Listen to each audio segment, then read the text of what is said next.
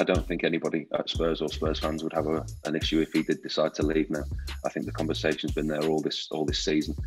Um, the manager's been sacked and everything seems to be drifting away. It's going to be a tough end to the season for Spurs. And I think at his age and his stage in his career, if he were to move on and wanted to fulfil winning his ambition to win things, um, you know, I don't think anybody would begrudge him that. It's it's all it's great being a, a one man club, um, and it's you know it'd be a fantastic thing if he did stay and, he, and Spurs were able to build a team around him. But I think if there was any type of any time for him to go, I think it's possibly this summer. I think the the next manager for Spurs, whoever they recruit, will have a huge impact on you know whether he stays or not. The first job that the manager will have will be to sit down with him and decide his future. I think they should go for a, an, an, experienced manager, somebody who's managed at that level um, with international credentials.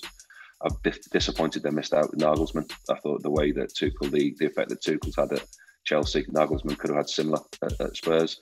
Um, but obviously Bayern Munich saw that and, and, got in quick. So it's going to be interesting to see who Daniel does appoint for, for the next manager. Um, but I think you know he's, he's hired and fired and he's back managers before, and you have to trust him to get the decision right. As far as Ryan Mason goes, I think he's done a wonderful job with the under 23s. I think he'll continue to be um, develop as a coach, develop as a manager. This opportunity will be an incredible experience for him, and I think he will go on to manage Spurs one day, but maybe not just yet.